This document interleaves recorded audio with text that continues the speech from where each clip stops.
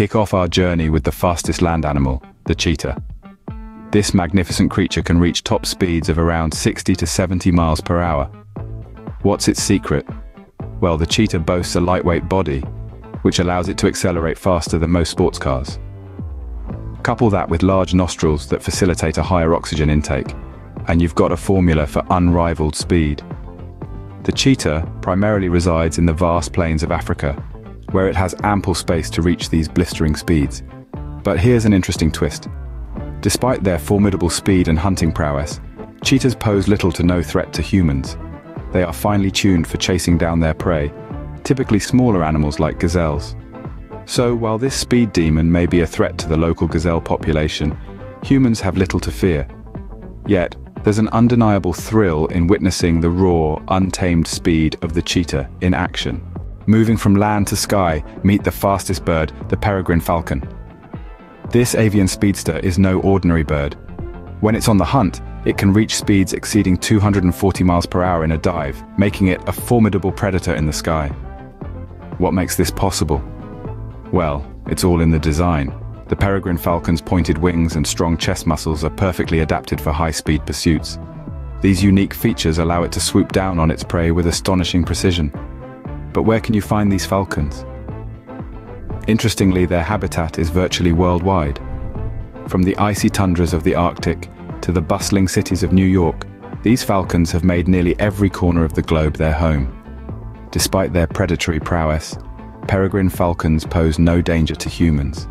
They are solely focused on their natural prey, like pigeons and other small birds.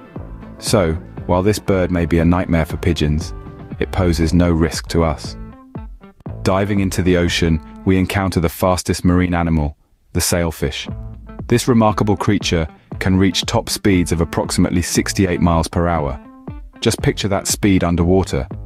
The sailfish owes its impressive velocity to its unique physical attributes. It sports a long, slender body that cuts through water like a hot knife through butter, and a crescent-shaped tail that provides powerful propulsion. Now you might be wondering where these speedsters reside. Sailfish are found in both the Atlantic and Indian Oceans, where they reign supreme as the aquatic speed champions. But don't worry, despite their intimidating speeds, sailfish pose no threat to us humans. They're far more interested in pursuing smaller fish than interacting with us. So there you have it. The sailfish, a marvelous marine creature that combines speed, grace and beauty in one sleek package. While they might be the speed kings of the ocean, humans are safe from these swift swimmers. From the vast ocean, we shrink down to meet the fastest insect, the dragonfly. This petite powerhouse is no slouch in the speed department.